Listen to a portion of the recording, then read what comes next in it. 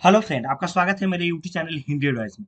जो भी हमारे आधार के सुपरवाइजर एंड ऑपरेटर हैं, या वो नया आधार सेंटर लेके काम करना चाहते हैं, उनके लिए बहुत ही इंपॉर्टेंट वीडियो इंपॉर्टेंट वीडियो यह इसलिए है कि अगर आप लोग अभी नया फॉर्म एन एस के वेबसाइट पे एग्ज़ाम देने के लिए भरेंगे तो वहाँ पे एक नया सर्टिफिकेट मांगा जा रहा है, जिस सर्टिफिकेट का नाम है LMS सर्टिफिकेट तो उसमें आपको एलएमएस सर्टिफिकेट आईडी मांगा जाएगा इशू डेट मांगा जाएगा और उस सर्टिफिकेट को आपको अपलोड करने के लिए बोला जाएगा। तो आखिर यह एलएमएस सर्टिफिकेट है क्या और ये मिलेगा कैसे? आप कहाँ से लेके इसको अपलोड कर पाएँगे? इसके बारे में पूरा डिटेल में आपको बताने वाला हूँ। तो चलिए इस वीडियो को शुरू करते हैं। शुरू करने से पहले मैं आपसे करूँगा रिक्वेस्ट अगर अभी तक आपने मेरे यूट्यूब चैनल सब्सक्राइब नहीं किया तो प्लीज़ सब्सक्राइब कर लीजिएगा।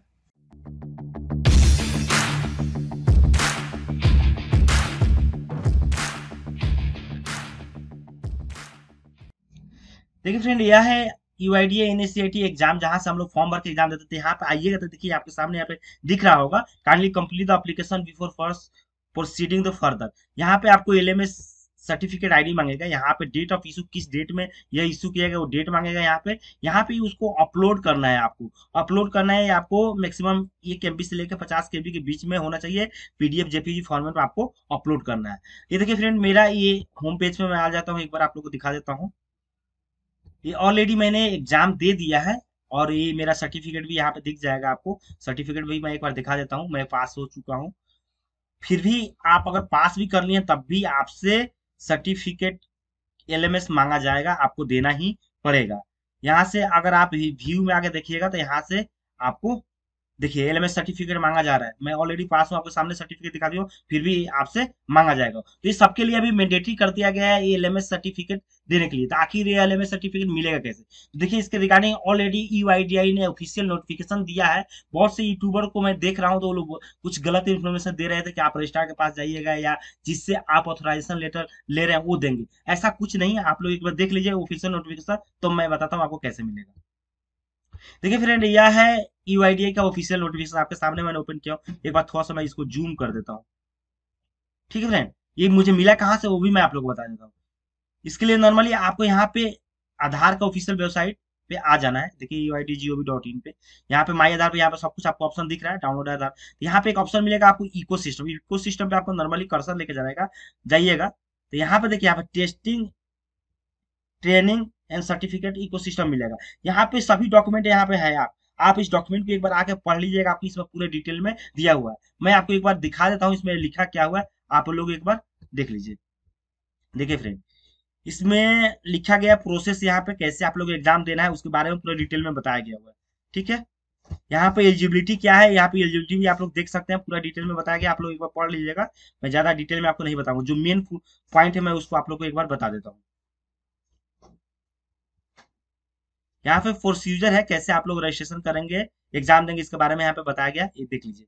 हमको देखना है एलएमएस वाला। देखिए एलएमएस वाला यहाँ से सेकंड पॉइंट आप देख सकते हैं एलएमएस सर्टिफिकेट के बारे में बताया गया है। यहाँ देखिए लिखा हुआ है the candidate shall be required to undergo online training और लर्निंग मैनेजमेंट सिस्टम जो एलएमएस का फुल फॉर्म होता है, वो होता है लर्निंग मैनेजमेंट सिस्टम एलएमएस यहाँ पे लिखा हुआ है पोर्टल ऑफ़ यूआईडीआई यह एक पोर्टल है फ्रेंड इस पोर्टल का लिंक मैं आपको डिस्क्रिप्शन दे दूँगा। मैं एक बात बता दूँ, ये लिंक अभी वर्क नहीं कर रहा है कि मैं इसको ओपन करके देखा या काम नहीं कर रहा है। आपके सामने ओपन कर रहा हूँ।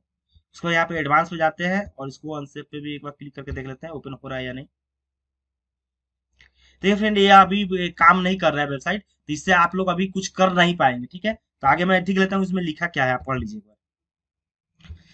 तो नॉर्मली क्या करना है? आपको एलएमएस सर्टिफिकेट लेने के लिए इस पोर्टल पे आपको जाना है। अभी ये पोर्टल ये लिंक काम नहीं कर रहा है तो अभी मुश्किल है आप लोग को एलएमएस सर्टिफिकेट मिले ध्यान रखिएगा। बहुत से लोग बता रहे हैं कि रजिस्ट्रार से मिल जाएगा। ये अभी कंफर्म नहीं है रजिस्ट्रार आपको देंगे या नहीं देंगे। अगर किसी को मिला है तो प्लीज़ मुझे ज़रूर कमेंट करके बताइएगा कि हाँ मुझे एलएमएस सर्टिफिकेट मिला हुआ है।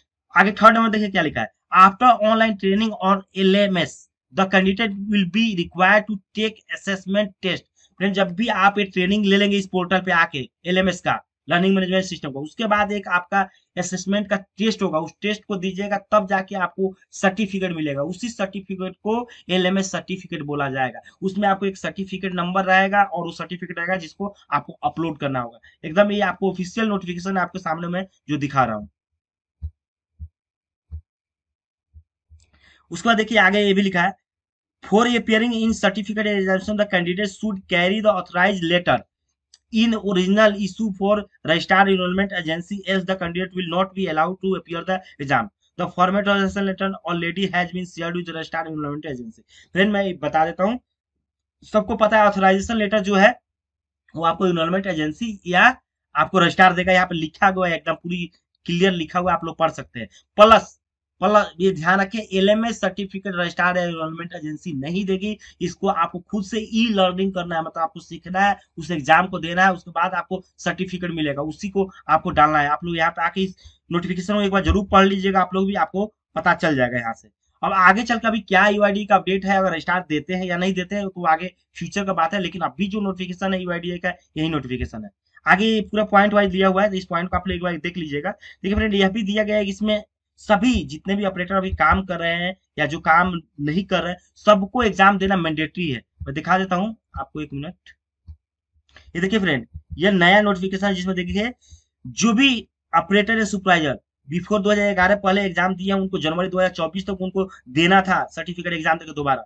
वहीं एक जनवरी 2011 से 2013 के बीच में दिया है, उनको एक अप्रैल 2024 तक मैंडेटरी सर्टिफिकेट पास करके दे देना, नहीं तो उनका जो भी आधार का काम कर रहे हैं, वो बंद हो जाएगा। उसका एक जनवरी 2014 से लेके दिसंबर 2016 तक जिन्होंने किया है, उनको एक जुलाई 2024 तक सर्टिफिकेट पास करके देना है। वहीं 2017 से लेकर 2019 तक दिए हैं, उनको एक अक्टूबर 2024 तक देना है। और जो 2020 से 2022 के बीच में एग्ज़ाम देकर पास किए उनको एक जनवरी 2025 तक फिर से री एग्ज़ाम अपियर करके सर्टिफिकेट देना है, तभी उनका आधार का काम चलता रहेगा अदरवाइज़ उनका बंद हो जाएगा। ये ऑफिशियल नोटिफिकेशन है, आप लोग देख लीजिए एक बार। उसके बाद आगे मैं आपको दिखा देता हूँ।